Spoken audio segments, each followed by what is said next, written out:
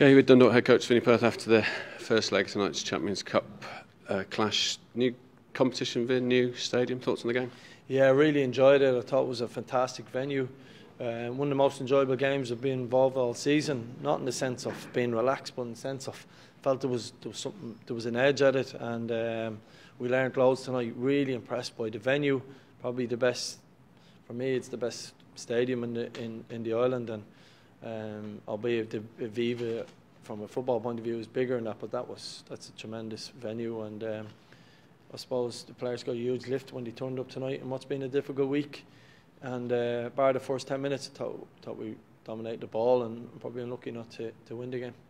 Um, you said you touched on the press conference after a difficult week. Um, obviously, hard picking the players up, but managed to do that. And then arriving here tonight, he said everybody everybody wanted to be out there as soon as they get the ground. Yeah, for the first time, you know, since I've ever been at this club, we, we didn't pick the team until we got here. Uh, we just tried something a little bit different and kept the players not guessing, but just kept them motivated over yesterday and, and last night. So the problem was the only player I told Sean Gannon has had a, a hamstring injury over the last couple of weeks, and um, he's the only one that sort of knew.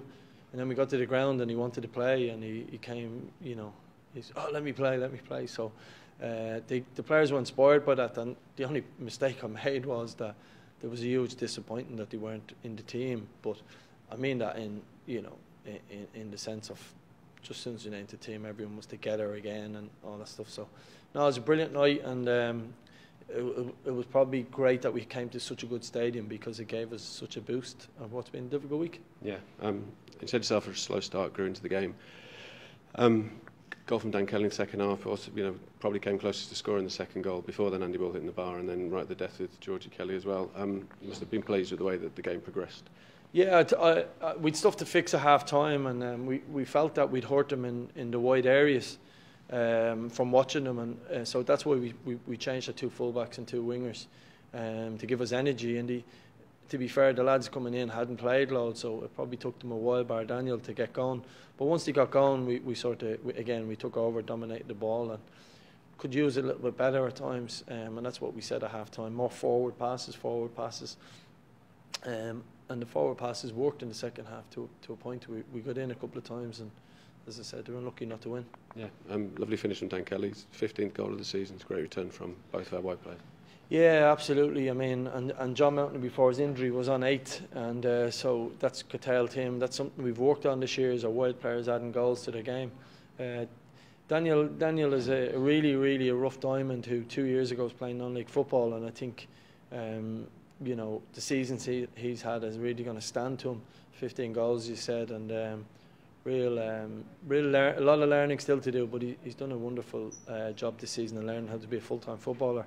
And you know the future's bright. We've a lot of players like that, sort of breaking through and, and making a name for themselves. And Daniel is one of them, and Daniel Cleary is another example. So uh, when you see these players, you know, kicking on the older players, it's it's brilliant.